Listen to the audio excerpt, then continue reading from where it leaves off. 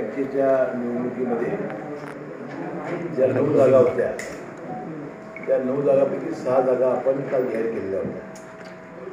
आणि शिवसेनेला आम्ही विनंती केली होती की त्या तीन जागा आम्ही शिल्लक ठेवलेल्या आहेत. आणि उद्यापर्यंत आम्ही जर तुम्ही जर आम्हाला बोलला तर आपले महाविकास आघाडी जनसुधारित मित्र पक्षाची आघाडी आपण जिल्हा परिषदेमध्ये आपण परंतु तो आज दिवसभर काय प्रतिसाद शिवसेना पक्षाने काही दिलेला नाही.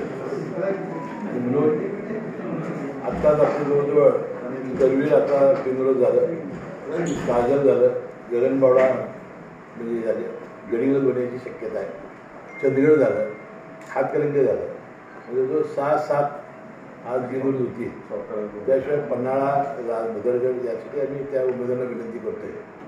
तर सात आठ जर बिनरोज होणार असतील तर निवडणुकीमध्ये फारसं जिल्ह्याच्या राजकारणावर परिणाम होईल किंवा बँकेच्या कामकाजावर परिणाम होईल.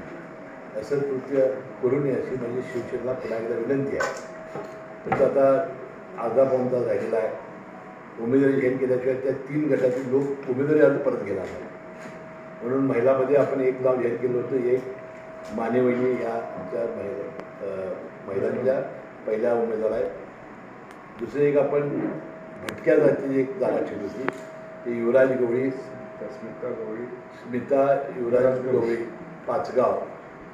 आणि तिसरी जी जागा आहे ती गट नंबर दोन प्रोसेसिंगमध्ये प्रदीप पाटील भेळकर.